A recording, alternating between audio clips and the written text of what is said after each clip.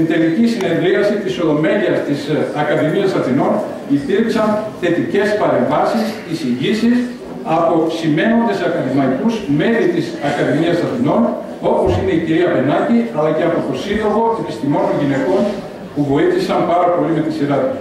Στον Πάτερο, στο, στο βραβείο το οποίο μας έχουν αποδώσει, η αιτιολογία λέει το εξής στην τοπική κοινότητα Κέλλης, για, γιατί κάτω από αντίξωες πραγματικά συνθήκες συμβάλλει στην αντιμετώπιση του δημογραφικού προβλήματος της χώρας.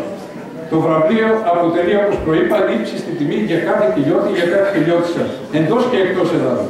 Αποτελεί τιμή για όσους γονείς χρόνια τώρα προσφέρουν με αυτόν τον τρόπο, αλλά και με μια βαριά κληρονομιά θέλετε.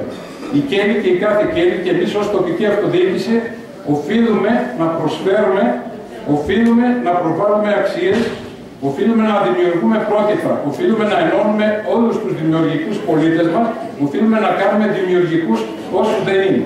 Και εσείς, οι πολίτες ε, μητέρες, πραγματικά είστε πρότυπα, είστε δημιουργικές και γι' αυτό νιώθουμε περήφανοι για την καταγωγή μας, νιώθουμε, ε, νομίζω, ε, ε, δικαιωμένοι γιατί άξιζε τον κόπο μια τέτοια προσπάθεια. Θεωρώ πως στον βαθμό που μας αναλογεί όχι απλά ως υποχρέωση, αλλά τιμή να θυμόμαστε και να προσπαθούμε για την πολίτικη μητέρα του κοριού μας, για τη διατήρηση, θα σας τονίσω, του πληθυσμού έτσι όπως είναι σήμερα η Ελλάδα, ε, και να μείνει σε σταθερό επίπεδο, ο δείκτης γονιμότητας θα πρέπει να είναι στο 2,1. Εμείς έχουμε μόλις το 0,6. Κάθε χρόνο βλέπετε κι εσείς ότι κλείνουν σχολεία, συγχρόνονται, συγχωνεύονται λόγω έλλειψης μαθητών.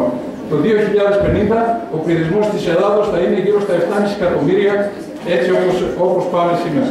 Από την άλλη, μια επικαιροποιημένη έρευνα της τουρκικής στατιστικής υπηρεσίας δείχνει ότι ο πληθυσμός της Τουρκίας από τα 85 εκατομμύρια σήμερα θα, το 2050 θα αγγίξει τα 93 εκατομμύρια. Με μαθηματική ακρίβεια λοιπόν βαδίζουμε στο τέλος της ιστορίας μας. Και ενώ ο νόμιμος πληθυσμός της χώρας μειώνεται σταθερά, οι διοικούντες εμάς με μια σωρία από λάθη, παραλήψεις, αλλά και θέσπιση, θα έλεγα, διατάξεων, δημιουργούν ένα σύνολο ή δημιουργήσαν ένα σύνολο δημογραφικών αντικι, αντικινήτρων και έπληξαν κέρια την πολύτιμη οικογένεια, το μόνο θεσμό που θα μπορούσε να αποτελέσει την ελπίδα επιβίωσης της πατρίδας μας. Ο στόχος μας ήταν να τους υπενθυμίσουμε πως μας, μας διαλύουν ύπουλα και νομοθετικά με μια ε, σωρία από δίθεν ριζοσπαστικές ιδέες, αυτόματα διαζύγια, ε, αποπολιτικοποίηση των αμβλώσεων, σύμφωνα ελεύθερης συμβίωσης και όλα τα άλλα. Δημοσιογράφος του ελεύθερου τύπου Αγγελίδης ο Άγγελος με ρώτησε γιατί, η Κέλλη, ε, γιατί στη Κέλλη, ε, κύριε Πρόεδρε, είστε πολίτεκνοι. Και το απάντησα για τρεις λόγους. Λόγω θρησκείας, λόγω παράδοσης και λόγω αντίστασης λόγω θρησκείας του είπα πολύ, πολύ απλά ότι στη Κέλια ακόμα υπάρχει ένα πολύ μεγάλο ποσοστό ψυχές που ακολουθούν τον νόμο του Θεού. Στην εποχή της καταπτώσεως, της ειδικής σύψης, της συνένεσης από πλευράς πολιτείας σε αυτόματα συνενετικά διαδίκτυα, από την ποινικοποίηση της μοιχεία, εμείς εμείς συνεχίζουμε να τεκνοποιούμε. Και λόγω παράδοσης, γιατί οι πρόγονοί μας πραγματικά είναι ε, να μπορεί κάποιος πως το 1940, το 1950, 60, κάτω από αυστηρά αντίξωες συνθήκες, κάτω από πολέμους, οι παππούδες μας, οι γονείς μας κατάφεραν να έχουν οικογένειες με 5, 6, 7 και 9 παιδιά. Και λόγω αντίστασης, γιατί επιτέλους θέλουμε την πατρίδα μας πίσω. Τους εξήγησα πως στη μικρή κοινωνική κοινότητά μας νιώθουμε υπερήφανοι γιατί συνεχίζουν να πάμε κόντρα στο ρεύμα.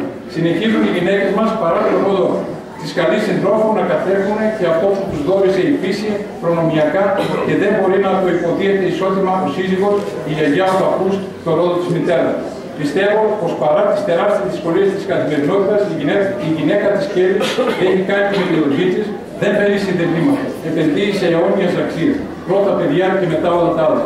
Είμαστε υπερήφανοι γιατί εδώ το τρίπτυχο πατρίδα, θρησκεία, οικογένεια δεν έχει ξεχωριάσει. Υφίσταται ακμαίο και δυνατό φίλε πρόεδρε της τοπικής κοινότητας Κέλλης, αγαπητές ελληνικότητες και αγαπητοί ελληνικότητες. Σήμερα είναι μια μέρα σημαντική. Δεν είναι όπως κάθε χρόνο τιμούμε τα άξια παιδιά της Κέλλης, που με αγώνα και με, όπως είπε και ο πρόεδρος, με τις αντίξωες συνθήκες που υπάρχουν στην τοπική κοινότητα, για έχουν επιτυχίες στα νότια εκπαιδευτικά ιδρύματα.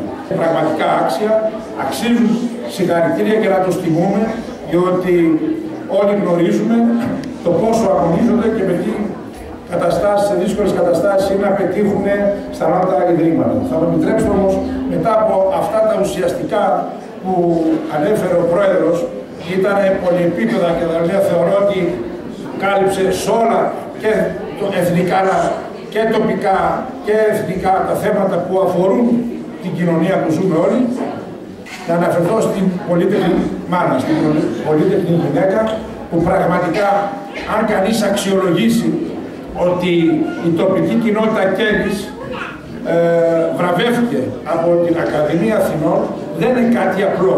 Είναι πολύ σημαντικό. Η, δεν συνηθίζεται να, για απλά πράγματα η Ακαδημία Αθηνών να δίνει τέτοιες διακρίσεις και σε ειδικές εκδηλώσεις που γίνονται μία φορά το χρόνο. Εγώ αυτό που θέλω να πω είναι ότι ο πρόεδρος τοπής κοινότητας πραγματικά πήρε αυτή την πρωτοβουλία που εμάς μας συγκίνησε. Εμένα προσωπικά ως Δήμαρχος Αμυντέου αισθάνομαι πολύ περήφανος για την Κέννη και για τον πρόεδρο. Και για να ξεκαθαρίσουμε κάτι και να